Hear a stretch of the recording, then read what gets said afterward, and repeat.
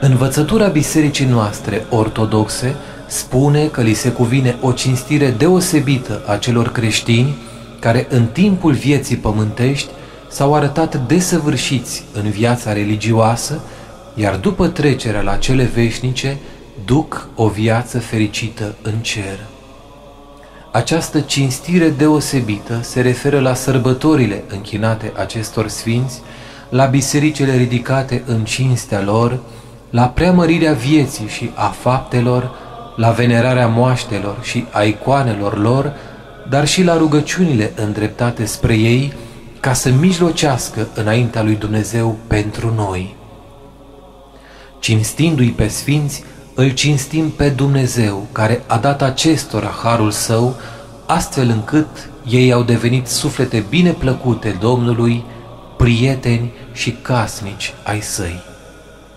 Prin cinstirea sfinților îi aducem laudă lui Dumnezeu, precum ne îndeamnă psalmistul, lăudați pe Dumnezeu întru sfinții săi. Aici, pe pământ, acești creștini cu viață desăvârșită s-au străduit să întrupeze în persoana lor sfințenia lui Isus Hristos, urmând pilda sa. De aceea, chipurile lor sunt pentru noi modele vrednice de urmat. În rândul acestor chipuri se numără și cel al Sfântului Stelian, despre care s-au păstrat prea puține date, dar din ceea ce spun Sfintele Cărți putem desprinde frumoase pilde de viețuire creștinească în slujba aproapelui și fapte minunate ale unui suflet dedicat cu credință lui Hristos. Despre cuviosul Stelian se spune că a fost sfințit și făcut locaș al Duhului Sfânt încă din pântecele Maicii sale. S-a născut într-o familie de buni creștini, într-o vreme în care răsăritul ortodox era frământat de prigoanele unor împărați ai Bizanțului, dezlănțuiți pentru defăimarea sfintelor icoane. An la rând, pentru apărarea icoanelor au căzut victime din rândul ierarhilor, al teologilor, preoților, călugărilor și credincioșilor. În acele vremuri s-a născut pruncul stelian într-o familie de oameni înstăriți. S-ar putea crede că nimic nu le tulbura viața liniștită și înbelșugată. Cu toate acestea, sufletul le era încercat de amara durere a pierderii fiilor la scurtă vreme de la naștere. Singurul rămas în viață a fost Stelian, bucurie pentru privirile părinților, alinare pentru pierderile suferite și strălucitoare rază de speranță. Spre el s-au îndreptat dragostea și grija mamei și ale tatălui, deși teama de a-l pierde și pe el le umbrea uneori bucuria.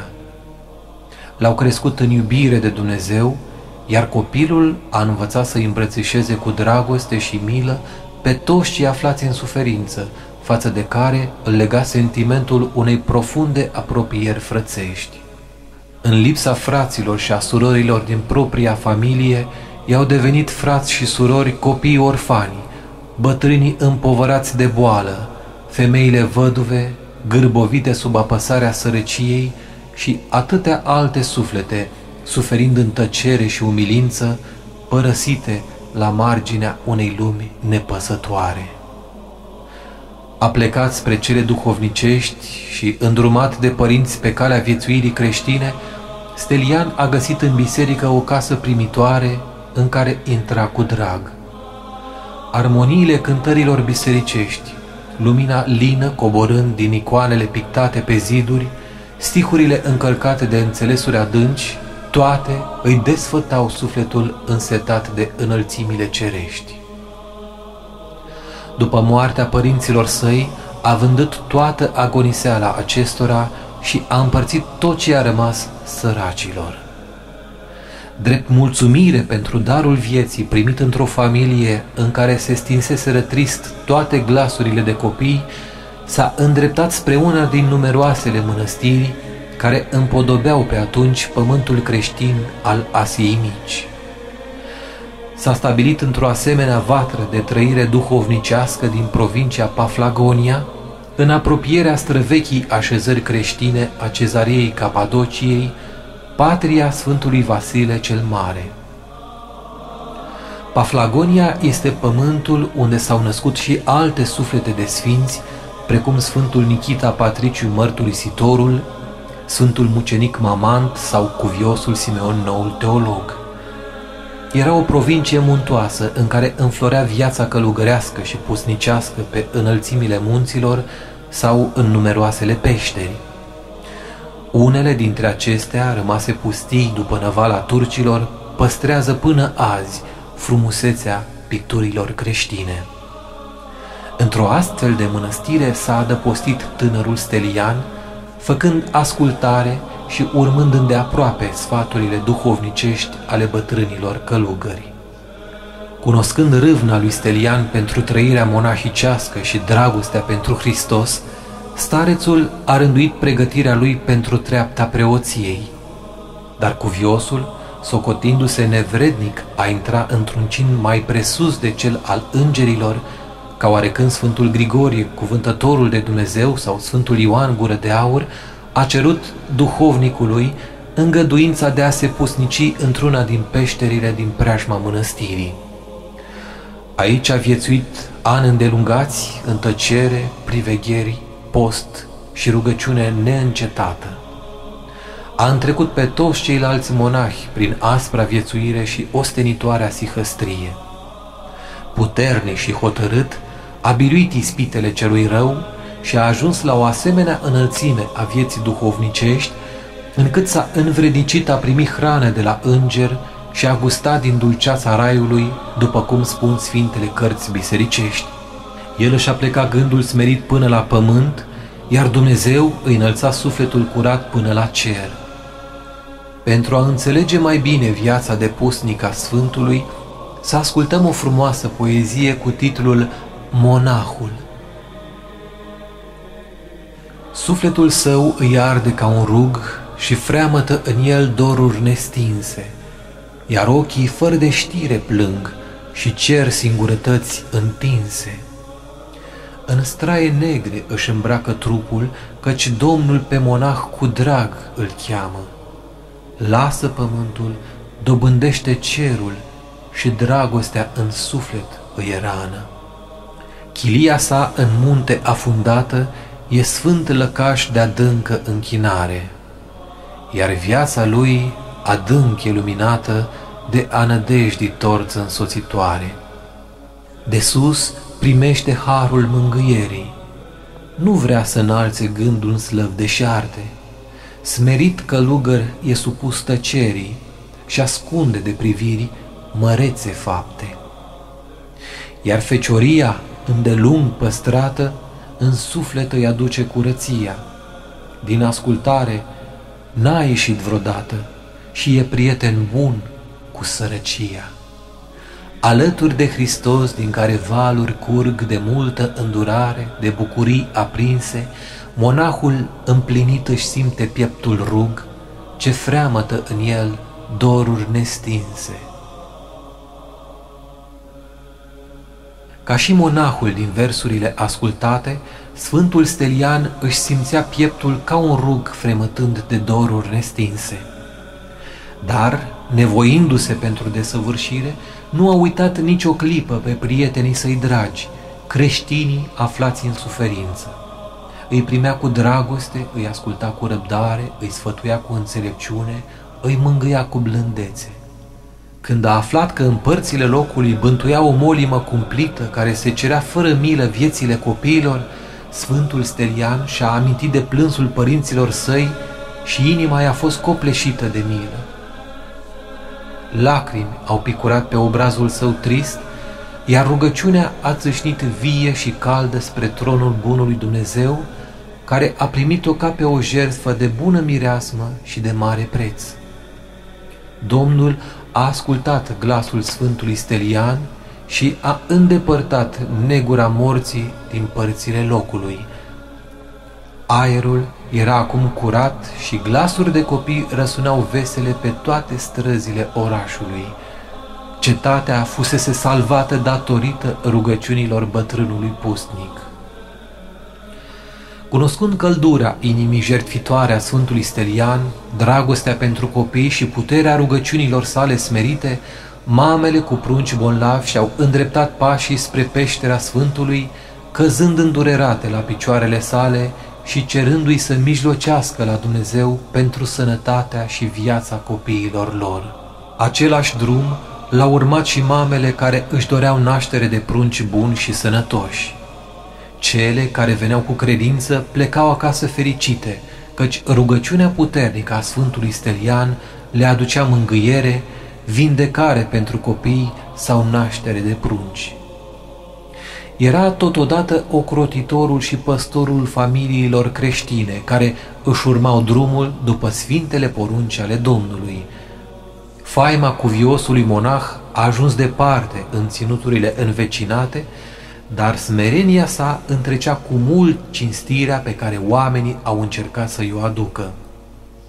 Sfântul Stelian a fost rugătorul cel mare al pustiei, floarea cuvioșiei de Dumnezeu împodobită, izvorul cel de viață purtător al pustiei.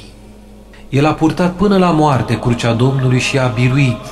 I-a slujit lui Dumnezeu cu credință, a disprețuit frumusețea înșelătoare a acestei lumi și a iubit sihăstria în peștera luminată doar de dragostea cerească. Nu întâmplător, el este numit stâlpul cel puternic al Paflagoniei, căci numele Stelian provine din cuvântul grecesc stilos, care înseamnă stâlp. Împărțindu-și timpul vieții între rugăciunea prin care își slăvea neîncetat Creatorul și faptele minunate prin care își ajuta aproapele, Sfântul Stelian a trecut la cele veșnice, fără ca minunile săvârșite în peșteră să înceteze aici. Trupul său întreg și neputrezit a fost adus în biserica mănăstirii sale și prin el s-au săvârșit minuni la fel de mari ca în timpul vieții Sfântului. Cunoscând evlavia credincioșilor, puterea dragostei cu care aceștia înconjurau amintirea Sfântului, precum și minunile care se săvârșeau prin moaștele sale, biserica a hotărât canonizarea sa. A fost trecut în rândul cuvioșilor făcători de minuni, având ca zi de pomenire 26 noiembrie, ziua trecerii sale la cele veșnice. Răsfoind erminiile picturii bizantine, adică regulile după care pictorii trebuie să zugrăvească chipurile sfinte, găsim în dreptul Sfântului Stelian recomandarea următoare – bătrân cu barbă deasă, iar cuvintele sale care trebuie să apară în icoană sunt De la Hristos am luat darul de a fi strajă copiilor. De altfel, tradiția reprezentărilor iconografice neobișnuit cu chipul Sfântului Stelian purtând în brațe un copil, semn al ocrotirii de care pruncii se bucură în fața Sfântului. Atunci când peste provincia Paflagonia s-au abătut năvălirile turcilor care au trecut prin foc și sabie așezările creștine, călugării rămași în viață au părăsit mănăstirea, trecând în Grecia la muntele Atos și purtând cu ei, printre alte odoare, moaștele cuviosului Stelian. De aici, o parte din aceste moaște au fost aduse în țara românească de mitropolitul Ștefan al II-lea, atunci când el a înălțat o biserică la anul 1736 în marginea de atunci a Târgului Bucureștilor, în Mahalaua Lucaciului.